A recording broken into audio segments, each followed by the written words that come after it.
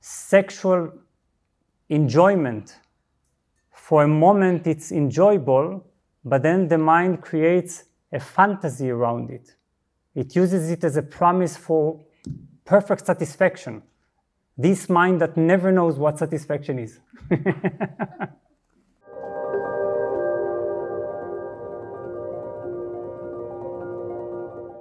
because what is the source of, of our dis, of dissatisfaction, of lust and desire?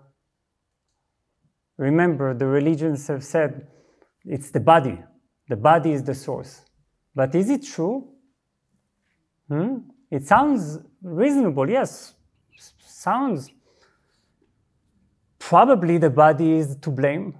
But then when we really begin to listen to the body, to, to, to pay attention to it, we realize that it's the sweetest, most innocent being. It is actually desireless. It has such minimal needs to be happy, to be content, and to be healthy. The body absolutely has no addictions. The body doesn't crave sugar. The body doesn't chase after sexual fantasies. You see?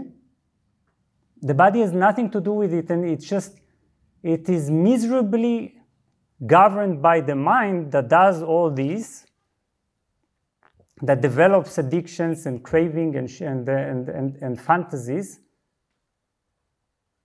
And then the body becomes so drained because there is nothing natural for the body to follow all these silly desires and ambitions. It has its natural rhythms because it is nature. It doesn't need any of that.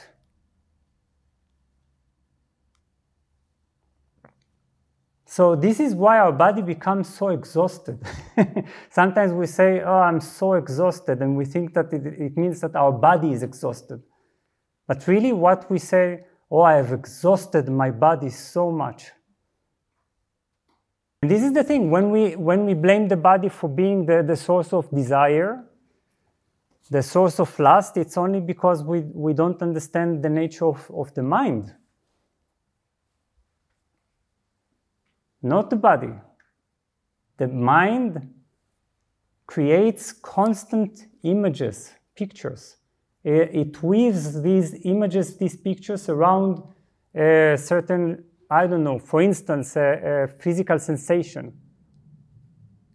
Eating something sweet and then and then the body the, the mind weaves around it some kind of a, of a promise of constant satisfaction and then it chases after this this substance or sexual enjoyment. For a moment it's enjoyable but then the mind creates a fantasy around it. It uses it as a promise for perfect satisfaction. This mind that never knows what satisfaction is. I always like to tell about uh, the, the realm of the hungry ghosts. Do you know the realm of the hungry ghosts in the, in, uh, in the Tibetan, Tibetan uh, uh sort of mythology? Uh, there, there is the, when you die, if you haven't been a good boy or girl and, uh, and have completed your, your your understanding of enlightenment, I'm joking, if, but if you haven't completed the, uh, your understanding, then you, you, you find yourself uh, going through certain realms. Okay, it's like realms of the in-between, between death and rebirth. And then you visit all kinds of hellish realms. And these hellish realms, the, what is so interesting about them is that they are created by your own mind. You see? It's Buddhism, it's not religion, Uh, monotheistic religion. So, no sin here. You, you create your own hell, and then you reach one of the realms is the realm of the hungry ghosts.